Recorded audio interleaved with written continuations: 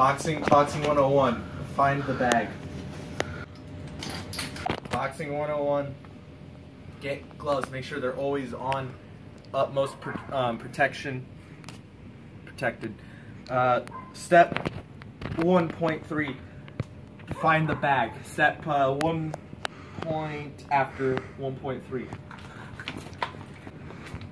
Put it against surface. Step 2.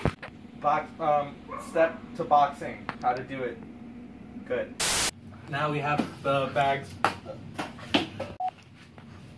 So, after you box your boxing glove over, um, yon- here, I'm pretty sure this is right. Um, that looks right. Yeah. So, step two, take off any footwear. Um, you actually don't want to. You box the shoes.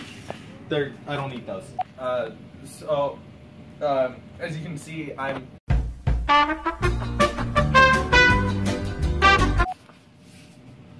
Oh, welcome back to step three and a half.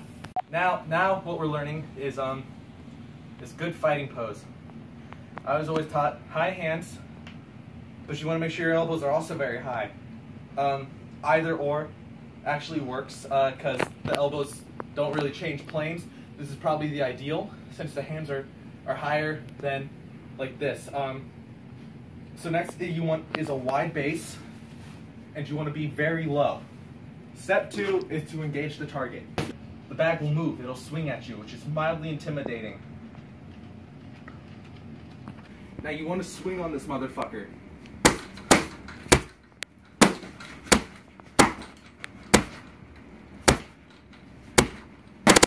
Next, if you're a kickboxer, you can start, um, you can kick it.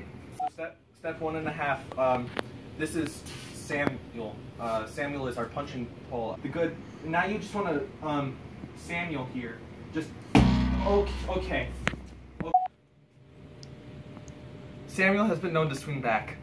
So now that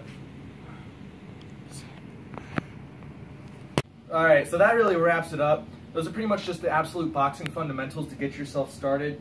Join us for uh, next um, box stepping five, 102. episode one of uh, yeah that one, where Boxing learn- 102.